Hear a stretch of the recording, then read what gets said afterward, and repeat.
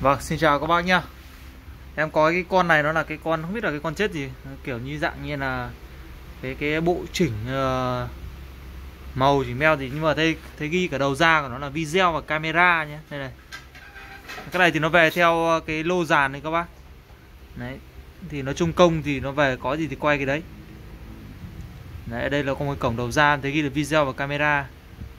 Đó, còn ở đây thì uh, Nó là mấy cái chỉnh gì này.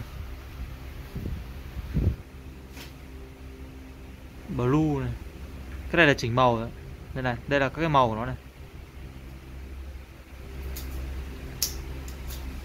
Đấy, nói chung thì cái này nó về theo công hàng thì ờ, em quay nên cho bác nào cần thì lấy nhá. Có bác nào ví dụ mà có hay à, sân khấu điện ảnh rồi các thứ thì mình có thể dùng thì lấy này.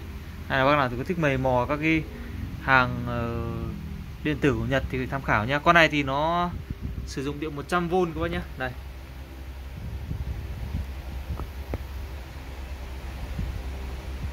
Đấy, đây là thông tin của nó này. Victor này, AV Processor KM V10, V13 Điện 100V này. Hàng sản xuất tại Nhật. Đấy, Cái này thì nó về theo cái, cái công hàng ấy Thì là bóc hàng ra thì bên trong thấy có Thì em quay lên cho các bác nhé. Kích thước của nó thì uh, nó như nó là size 4 uh, ờ, con này chắc là tầm khoảng 4 4 4 46 gì đó. 42 46 gì đó. À, bác nào lấy con này thì alo em nhá. Thanh lý nhanh cho các bác giá 100k nguồn nó vẫn lên coi nhá. Đây cắm điện này.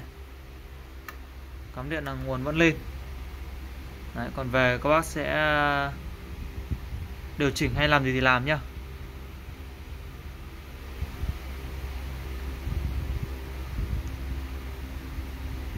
Rồi em xin chào kết thúc video ở đây nha.